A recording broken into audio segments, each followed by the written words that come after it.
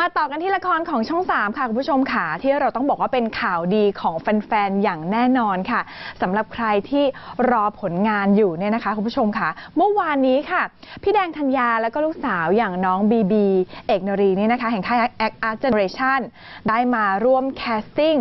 นักแสดงละครเรื่องใหม่ค่ะ กับละครที่มีชื่อเรื่องว่าลายกินรี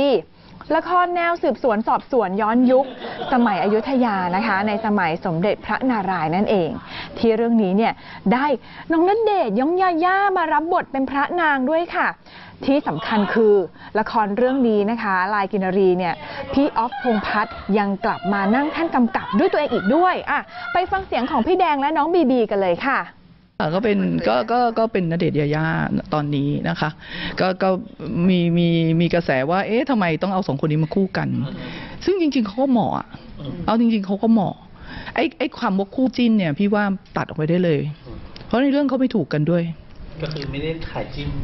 ไม่ได้ขายจิ้นแน่นอนแอคอาร์ตไม่เคยขายจิ้นอยู่แล้วค่ะ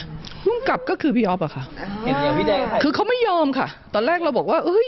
ออฟอย่าพึ่งเลย เดี๋ยวแบบหักโหมไปเขาบอกว่าไม่ได้ เขาเป็นคนอยู่เฉยไม่ได้เขาต้องทำงาน แต่ทีนี้ไอ้การทำงานที่จะให้เขาทำเนี่ยก็คือมีการระมัดระวังในเรื่องสุขภาพของเขา ก็คือเราก็เตรียมการว่าให้เขาอยู่ในมอนิเตอร์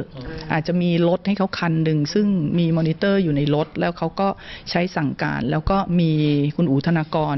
คอยเป็นร่างทรง ใช่ถอดจิตไปแล้วก็เขาก็จะจะสื่อสารกับนักแสดงคือนักแสดงก็จะขึ้นไปหาเขาอะไรอย่างเงี้ยอืมรอติดตามชมผลงานกันด้วยนะคะ ลายกินรีและก็การกลับมานั่งแท่นกำกับของพี่ออฟพงษ์พัฒน์ค่ะ